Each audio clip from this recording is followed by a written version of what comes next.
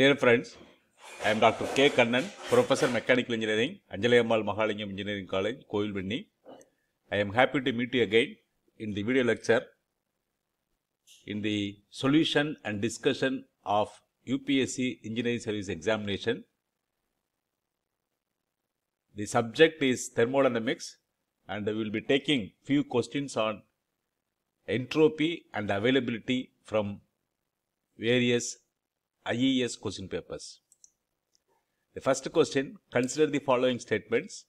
Entropy is related to the first law of thermodynamics. The internal energy of ideal gas is a function of temperature and pressure. Zeroth law of thermodynamics is the basis for temperature measurement. Which of the above statements are correct? 1 and 2, 1 and 3, 2 and 3 and 1, 2, 3. Entropy is related to first law of thermodynamics. That is the wrong statement. Entropy is related with the second law of thermodynamics.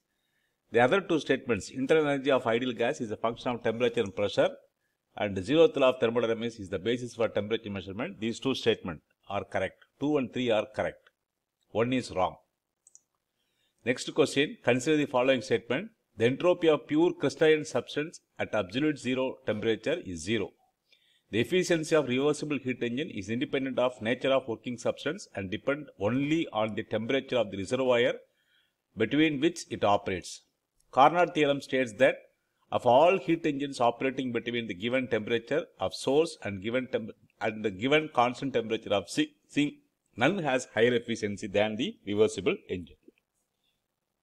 Which of the above statements are correct? 1, 2, 1, 3, 2, 3 and 1, 2, 3. So here all the three statements are correct. So absolute zero entropy of pure crystalline substance, solid substance at absolute zero temperature is zero. The efficiency of reversible heat engine independent of the nature of working substance only depends on only on the temperature and the Carnot theorem uh, of all heat engines the Carnot engine will have the highest efficiency.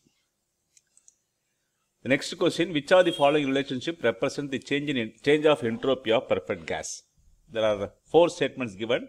First statement Cp into dT by T plus R into dV by V. Second statement Cp into dT by T minus R into dP by P. Third statement Cv into dP by P plus Cp into dV by V. And the fourth statement Cp into dP by P minus Cv into dV by V. So the correct statements are 1, 2, 3. First three statements are correct. So we will see how. So in the derivation of uh, entropy, the entropy is given by S2 minus S1 equal to Cv into logarithmic of T2 by T1 plus R into logarithmic of V2 by V1 and the change in entropy S2 S1 equal to Cv into logarithmic of P2 by P1 plus Cp into logarithmic of V2 by V1. Also S2 minus S1 equal to Cp into logarithmic of T2 by T1 minus R into logarithmic of P2 by P1.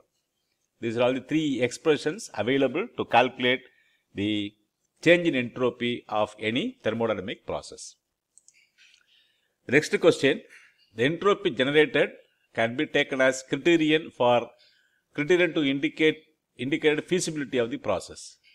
Which of the following conditions are correct? If S entropy generation equal to 0, then the process is reversible process. If the entropy generation is greater than 0, then the process is irreversible process.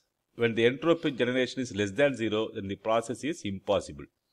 Select the correct answer using the code given below. So the correct answer, it may be 1 and 2, 2 and 3, 1 and 3 and 1, 2, 3.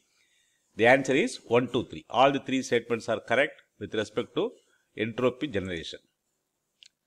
The next question, the statement 1, cyclic integral of del q by t equal to 0, the cycle is reversible. Statement 2, cyclic integral of del q by t is greater than 0, the cycle is irreversible and possible. Select the correct answer using the code given below. So both the statement 1 and 2 are individually true and the statement 2 is correct explanation for statement 1. Both the statement 1 and 2 are individually true but the statement 2 is not the correct explanation for the statement 1. Statement 1 is true but the statement 2 is false. Statement 1 is false but the statement 2 is true. So the correct answer is statement 1 is true. Cyclic integral of del q by t equal to 0 for a reversible process and statement 2 is false. So if the statement cyclic integral del q by t less than 0 then the cycle is reversible and possible. So this is impossible cycle. The next question, which are the following statements pertaining to entropy are correct? The entropy of a system reaches its minimum value when it is in the state of equilibrium with its surrounding. Entropy is conserved all the reversible processes.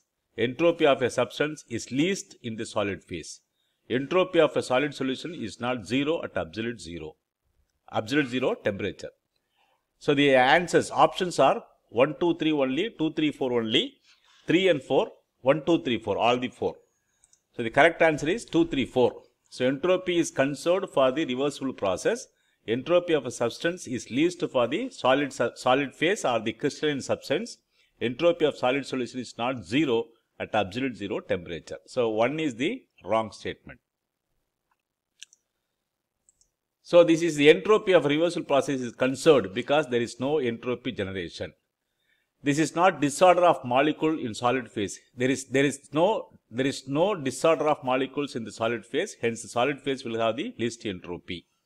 Third law of thermodynamics states that the entropy of a perfect crystal is zero at absolute temperature as it represents the maximum degree of disorder. So these are all the answers to the question. The next question, the effect of heat transfer from high temperature body to low temperature body are the energy conserved, the entropy is not conserved, the availability is not conserved. Which of the above statements are correct? 1 and 2 only, 1 and 3 only, 2 and 3 only, 1, 2, 3. The answer is 1, 2, 3. All the three statements are correct. So, we will see how. Explanation. First law of thermodynamics states that energy is, is a conserved quantity.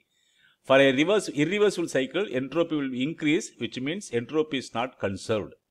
The available energy will decreases will decrease when heat is being transferred from high temperature body to a low temperature body. So, the availability is not conserved.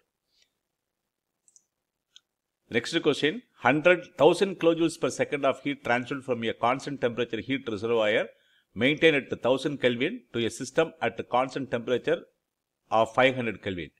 The temperature of surrounding is 300 Kelvin. Net loss of available energy as a result of this heat transfer is 450 kilojoules, 400 kilojoules, 350 kilojoules and 300 kilojoules. The answer is 300 kilojoules. We will see how in the next slide. So, the heat transfer Q equal to 1000 joules, temperature T1 equal to 1000 Kelvin and T2 equal to 500 Kelvin. The entropy generation. So, from the for the heat transfer process. So, Q by T2 minus Q by T1. So, 1000, 1000 divided by 500 minus 1000 divided by 1000 equal to 1 kilojoules per Kelvin. Loss of availability is TO into entropy generation. So, TO is 300. Surrounding temperature is 300 into 1 equal to 300 kilojoules per second. The next question, a Carnot engine operates between 37 degrees Celsius and 347 degrees Celsius. If the engine produces 620 kilojoules of work, the entropy change during the heat addition process. There are four options, 1 kilojoules per Kelvin, 2 kilojoules per Kelvin, 3 kilojoules per Kelvin and 4 kilojoules per Kelvin. The answer is 2 kilojoules per Kelvin. So, we will see how in the next slide. The temperature of the heat addition 347 degrees Celsius which is 620 Kelvin. Temperature of heat rejection T2 equal to 37 degrees Celsius which is 310 Kelvin. Work done equal to 620 kilojoules. The efficiency of the cycle eta equal to 1 minus T2 by T1 which is 1 minus 310 divided by 620 equal to 0.5. So, heat supplied Q1 equal to W by eta, work done divided by the efficiency, 620 divided by 0.5 equal to 1240 kilojoules.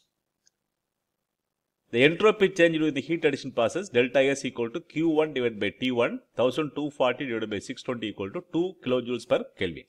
That is the answer to the problem. We stop here. So, these are all the books I have written in mechanical engineering subject. Uh, you can refer to the subject for additional uh, theory theory and I upload the video lectures of all the subjects in the YouTube channel. You subscribe the channel, use the videos for your better learning. Thank you for watching. Please post your comments on the comments box. You can contact me through my mail ID or WhatsApp number for any clarification on the subject. We'll meet again with another video lecture in thermodynamics. Until then, bye.